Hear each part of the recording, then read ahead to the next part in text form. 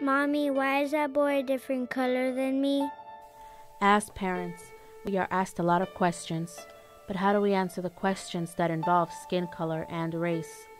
Our answers depend on how our children will see the world. Our words build the foundation of ethics.